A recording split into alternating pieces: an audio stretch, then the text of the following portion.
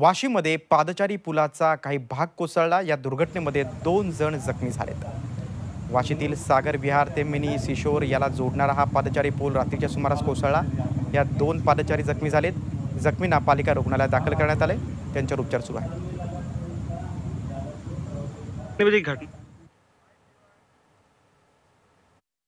दो उधर से इधर से जा रहे थे तभी ये ब्रिज नीचे गिर गया तो हम लोग आके इन्हीं उस दोनों का चिल्ला रहे थे उधर से आया मतलब वो साइड से आए हम लोग